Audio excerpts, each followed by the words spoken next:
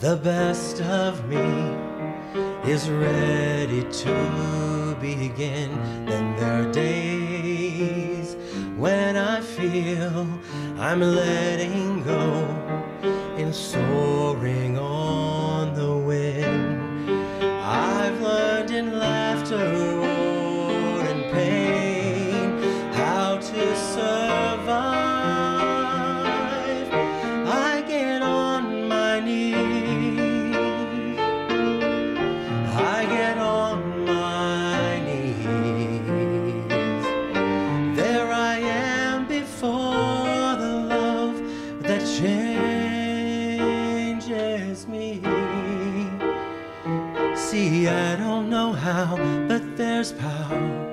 when I'm on my knees.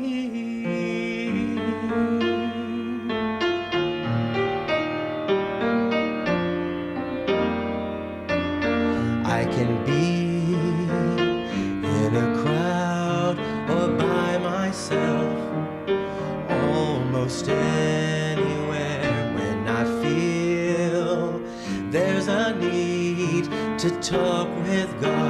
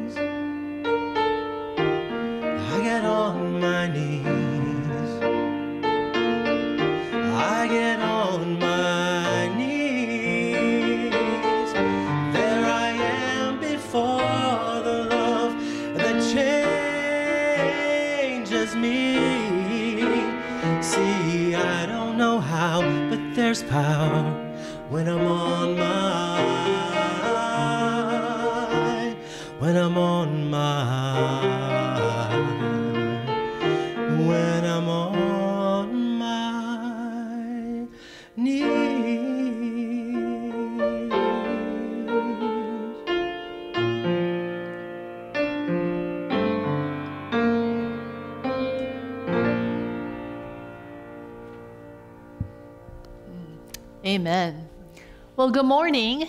Uh, we are so grateful to be able to worship together on this this morning. And before we do so, I just have a few announcements.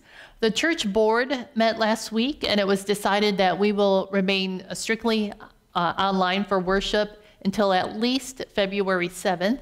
Uh, the board will meet again on February 4th and we'll survey where our community is in regards to the COVID numbers, and then we'll make a decision on how to proceed from there. So, as always, we will will keep you informed and in the loop as we go along.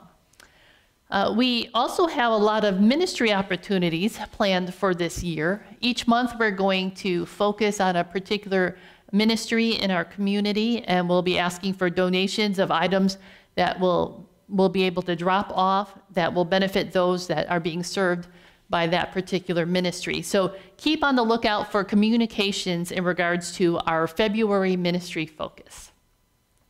And also, uh, David, guess what we forgot to do this month? We did, but um, the first Sunday we, we weren't worshiping together. Last Sunday I just completely forgot. And so this Sunday, let us um, honor our January birthdays, which happens just to be one, with and no anniversaries, but that's for Mary Alice Swope. And so she gets a personal birthday wish, being that she is our only January birthday. So you, you want to lead us in that? Mm-hmm. Happy birthday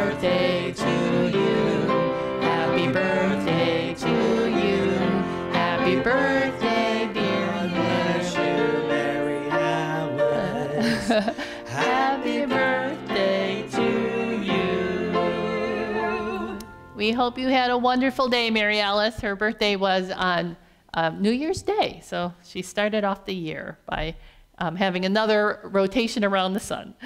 Um, and then one last announcement um, before we open up our worship service. Um, I know that this time of online worship can feel isolating, especially to those who can't or, or choose not to be online. And there aren't many, but, but there are a few. And I want to encourage all of you to reach out to one another. I know that you miss seeing each other's faces as David and I miss seeing yours. And, and we only get to see a, a camera lens and, and we miss seeing your faces. So let us hear from you as well. As we reach out to you, um, reach out to, to us and, and let us reach out to one another. It will do so much for our souls to stay connected in that way. Today, we are continuing with our new worship series entitled Beguiled by Beauty, based on the book by Wendy Farley. And as I mentioned last week, it's easy to focus on all the, the negative that we seem to encounter. And my hope is that this series will help us shift our focus from that can, that can be dark and ugly to the beauty that is all around us at all times. And we do that by practicing ways to return the love that God has shown us so that we can fall more deeply in love with God's creation and with one another. Also, with this series, there will be three video components, as I mentioned last week, to help us to contemplate the beauty of God's creation. The first will be at the opening of the service that visually will be the same each week, but the narration will correspond to the message of the sermon. And also in that video, you'll be invited to light a candle as a way to center your spirit and to signify the start of your worship time. So I encourage you to have a candle nearby for that opportunity. And then after that opening video, we will have an opportunity to respond by singing the first verse of the hymn, For the Beauty of the Earth. The second video will be for our scripture reading. And again, it'll visually correspond with the scripture each week. And then the third video will be after the sermon in what we're calling a Visio Divina. And it will have no narration to allow you to have your own narration. And perhaps that narration is a prayer of thanksgiving for the beauty that's being highlighted on the video, or perhaps it's a response to how God is speaking to you through the service. So let our weary souls continue to be rejuvenated through contemplating the goodness and the divineness of God's beautiful creation.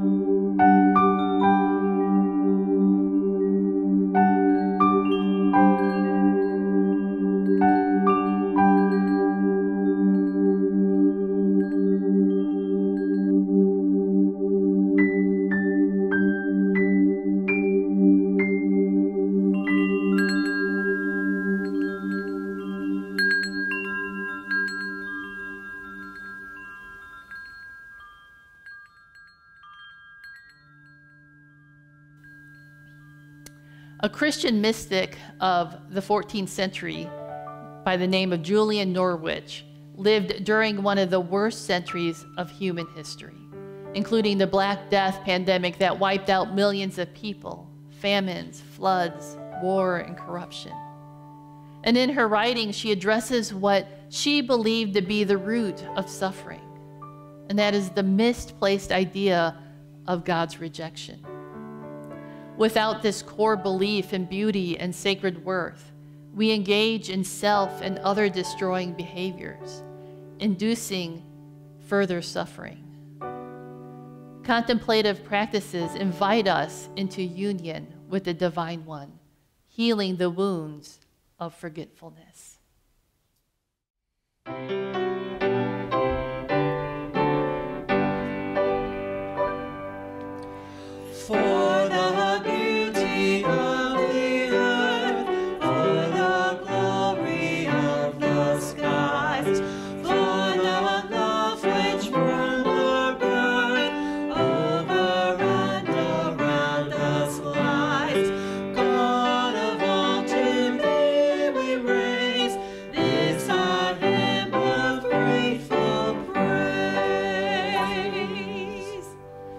Let us pray.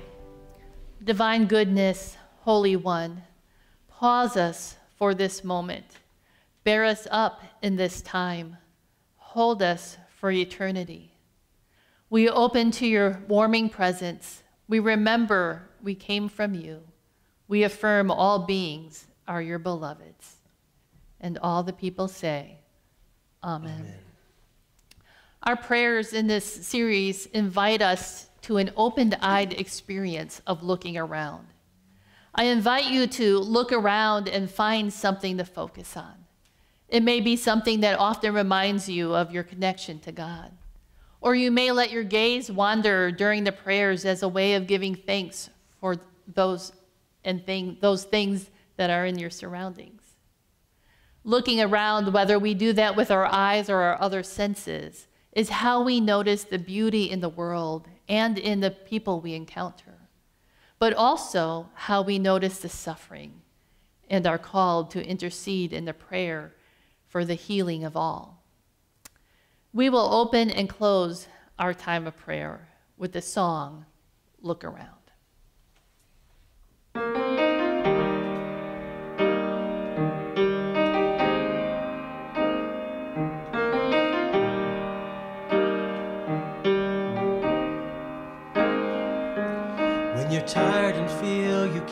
Can't through, uncertainty comes over you. Just look around.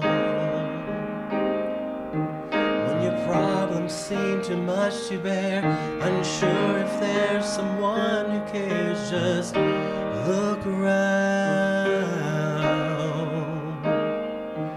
Whether stranger, neighbor, family, or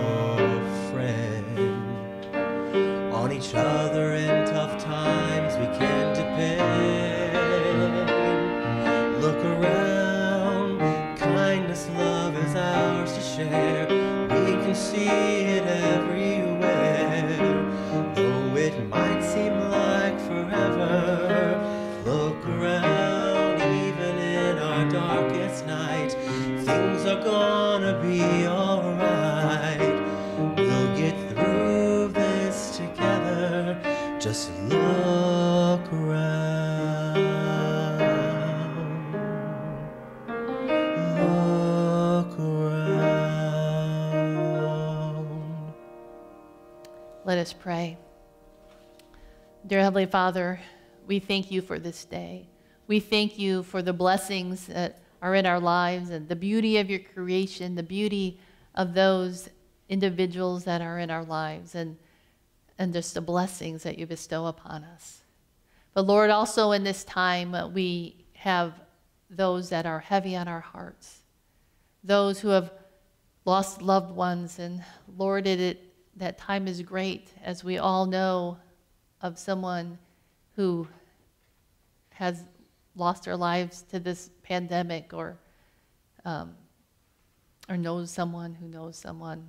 Lots of friends of mine have lost parents and loved ones, and we lift them up and ask your, your healing and comfort upon them. Lord, we lift up those who are sick and, and hurting, and we ask that your healing hand be upon them.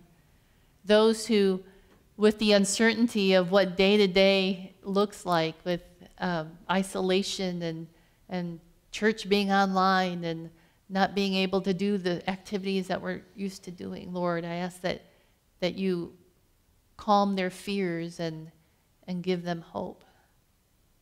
And then, Lord, we lift up our country to you that needs healing at this time as well, that we can find a way to heal and to be unified. Lord, we thank you for your, your Son that comes and, and demonstrates all that hope and love and peace and joy that we so need at, at this time, not only at Christmas, but every day of the year. We ask that your Holy Spirit would fill the places in which we worship, that your word would penetrate our hearts, and that our worship would be pleasing unto you. And we ask all of this in Christ's name.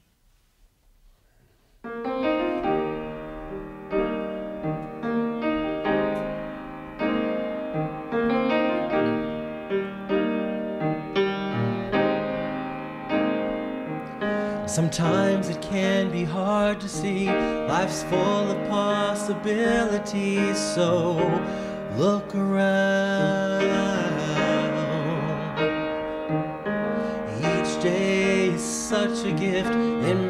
And the life you live, and look around. Outstretched arms and many helping hands. Don't give up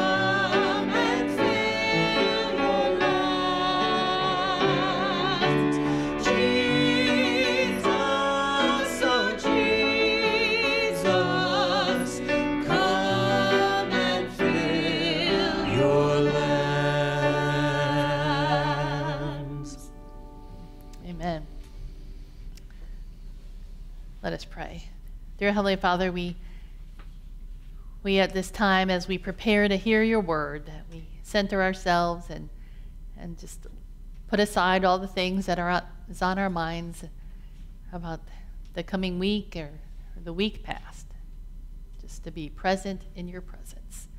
And we ask all of this in Christ's name. Amen.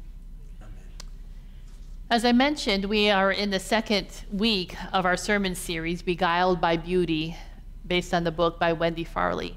And last week we talked about taking time to notice the beauty of God's creation all around us, the beauty in the nature around us, and the beauty in our fellow humans.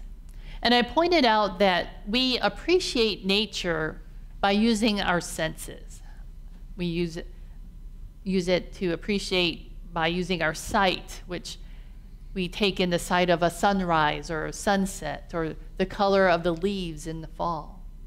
We appreciate nature by using the sense of hearing, such as taking in the sounds of the birds chirping or the roar of the waves of the ocean or listening to the sound that, that the wind creates by, by moving the wind chimes.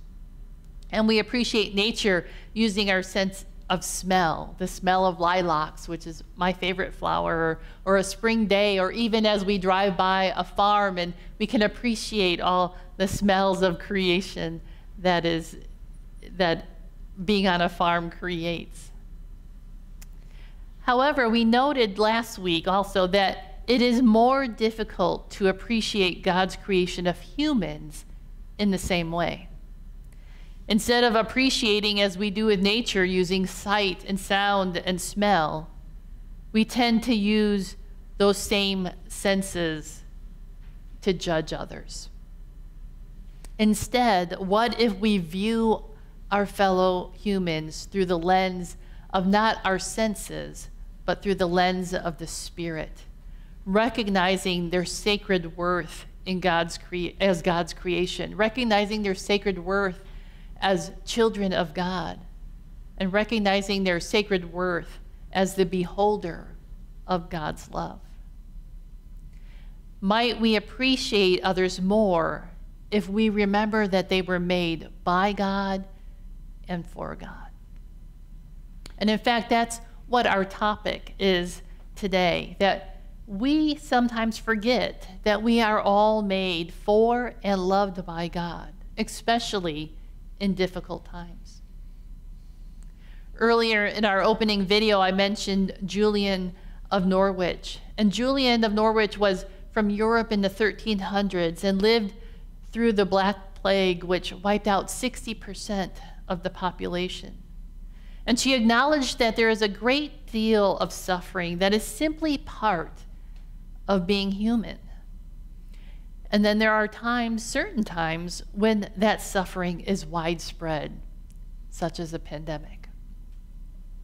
But what makes this suffering so soul destroying, she says, is that we cannot see how loved we truly are. We no longer remember that we are adored and cherished by God. And if we can reconnect to God's love for us, uh, we will still suffer at times, for that is just the consequence of sin in the world. But it would not be so overwhelming. For Julian, self and God forgetfulness creates a terrible wound within us and contributes to our destructive behavior while intensifying our anguish. Perhaps that is what we've been witnessing these past couple of weeks. However, when we practice contemplative worship, it keeps both facts in front of us that God loves us and that God is with us, even when we are unsure where the path in front of us will lead. So let us worship with reading the Psalm 16, verses 7 through 11. I praise Yahweh who guides me. Even at night, my heart teaches me. I'm always aware of your presence. You are right by my side, and nothing can shake me. My heart and my tongue sings for joy I feel completely safe with you. Because you won't abandon me to the grave, you won't let your loved one see decay. You show me the path to life. Your presence fills me with joy. Beautiful things are always in your right hand. The Word of God for the people of God. Thanks be to God.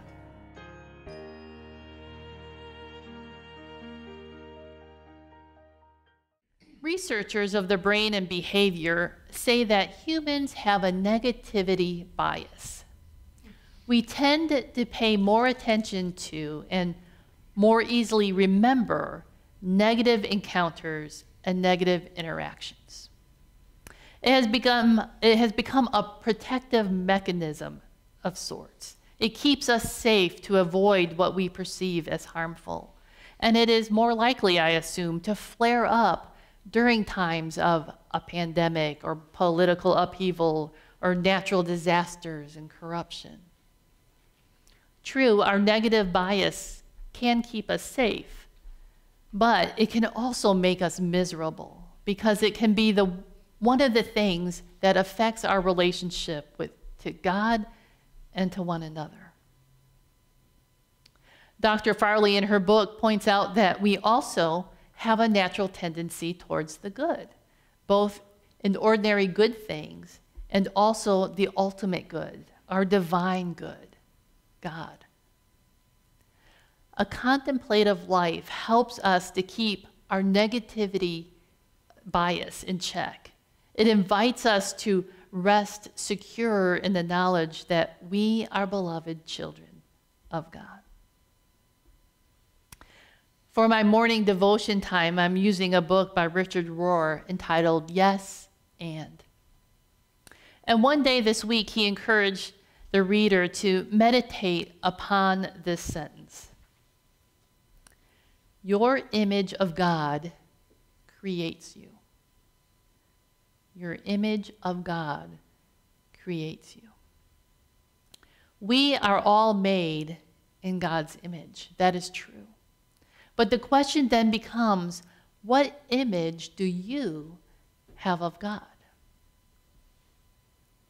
For the image of God that you have forms the type of person you become. Is your image of God one of where God is vengeful and violent, spiteful? Is the image of God that you have a God that is disrespectful and hurtful? If that is your image of God, you might tend to live your life with those same qualities as well where you are quick to lash out, quick to judge, and slow to forgive? Or is your image of God one that is powerful yet loving, a God that is patient and forgiving, a God that is full of grace? If this is your image of God, you might tend to live your life with those same qualities seeking reconciliation rather than retaliation, seeking peace rather than control, seeking grace rather than greed. I don't know how many of you viewed the, the bishop's response that I sent out earlier this week in regards to what's happening in the country. But she mentioned that we have to be careful of how we represent Christ in the world. The Christian flag was being waved by those storming the Capitol. And Bishop Sue was adamant when she pointed out that that situation does not represent Christ. And as I thought about that statement and observation, I recalled the passage of Jesus' arrest in John 18.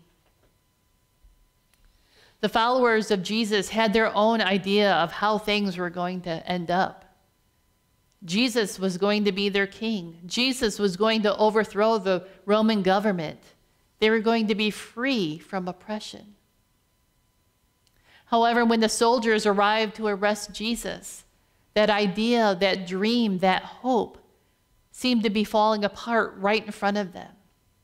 And Peter rises up out of fear and anger and desperation and lack of faith and attacks one of the soldiers by cutting off his ear. And what does Jesus do? He tells Peter to put away his sword. And Jesus then heals the soldier. He heals the very person arresting him. Jesus tells Peter, Am I not to drink the cup that the Father has given me? I read that to mean that Jesus is telling Peter do not focus on the negative in front of you, focus on God instead. Don't lash out on your own agenda, but rather seek God's will first. Don't fear of all hope being abandoned, but remember that God is with you always. We forget to trust God. We forget to see and feel God's presence. We forget that we were made for God. And when we do, when we forget those things, we misrepresent Christ in the world. The psalmist of our passage reminds us that one of the practices that leads us towards goodness and, and keeps God's goodness close so that we don't forget that God is with us is the practice of worship. Even in the midst of real suffering, we praise God. We remember the one who holds us, the one who stays with us, and the only one that can fill us with the fullness of joy. So I'd like to present to you three contemplative worship practices that you can try this coming week that will help you to remember the fact that you were made for God and that God is with you. So you might want to jot these down. And remember, to be contemplative is to see God in the ordinary. So, with that, the first contemplative worship exercise is the next time you grab a blanket to wrap up in as you read or watch TV. If you're like Dan and I, you have a special blanket for watching TV. We have a his and hers blanket. I don't touch his, he doesn't touch mine. But the next time you, you grab that blanket and you wrap it around you or you pull it up over you, feel the softness and the warmth and the instant comfort it brings. And think of God's love in that way. When you wrap that blanket around you, imagine that it's God's love surrounding you, hugging you, and giving you comfort and security. The second contemplative worship practice for you to try is think of someone in your life that has shown you unconditional love or has shown you grace upon grace or has shown forgiveness when you felt like you didn't deserve it. Remember the feeling of gratitude and acceptance and love that you experienced. Now apply that feeling to the love of God. No matter how wonderful that love you received from your loved one felt, God's love for you is infinitely greater, more than you can ever comprehend. So let us remember that, especially on the days when we need to feel that again. And then the third worship exercise I'd like you to contemplate upon is that statement from Richard Rohr. That statement, your image of God creates you. Your image of God creates you. This week, spend some time thinking about who God is to you. And write down those attributes and those descriptives. And then take a look at your own image. Is it the image of God? Is the image of God reflected in you and through you. And if it is anything other than love and grace and redemption, then I encourage you to go on a fact seeking mission to discover who God is through the example of God made flesh, through the example of Jesus Christ.